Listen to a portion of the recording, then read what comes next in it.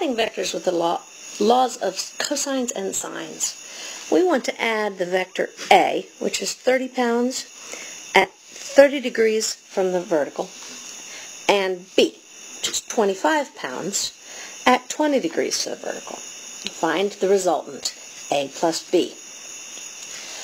Step one, line up the vectors head to tail. So let's put A first. It's really quite arbitrary. You can do it either way. And then B. The resultant goes from the bottom of A up to the top of B.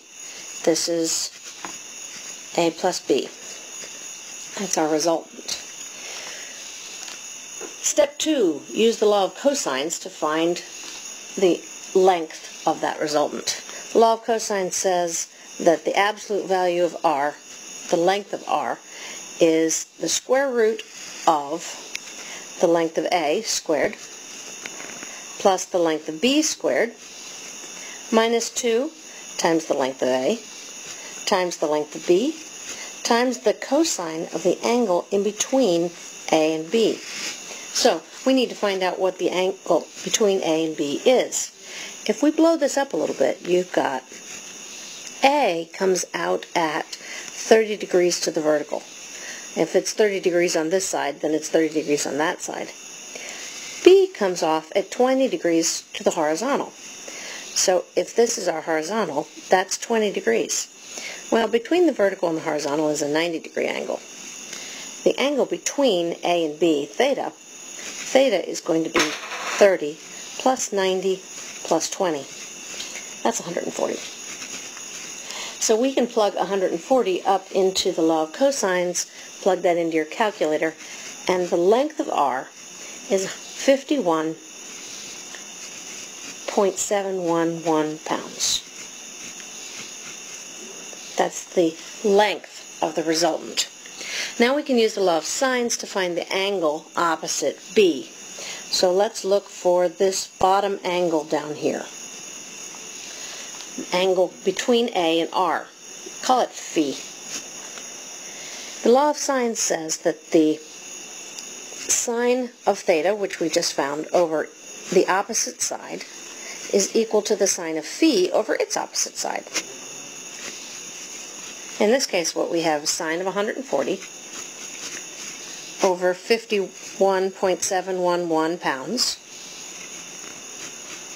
is going to be the same as of phi, which is what we're looking for, over the length of b, 25 pounds.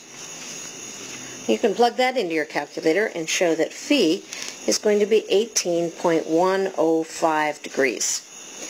Answer the question. You need to specify what the resultant is. Now clearly, the you're going to have the resultant is 51.7 pounds at an angle. What is the angle that you need it to be at? If we look at the whole quadrant here between A and B, we know that this is 30 degrees and this is 20 degrees. And somewhere in the middle here is the resultant so that if you had your parallelogram law instead of the triangle law, r is in the middle. This is the angle you just found. This is 18.1 degrees. When you're going to specify r, r is 51.7 pounds, it's either at any of the above. You can say 18.1 degrees below A, measured clockwise, you could say 48.1 degrees to the right of vertical.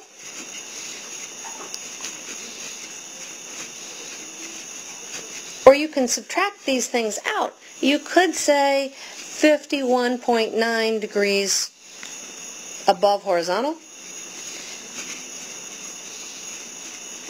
The point that you need to remember is that you have a magnitude and direction, and you have to remember what the direction is.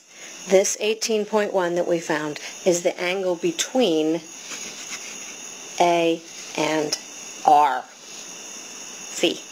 That was the angle we found using the law of sines.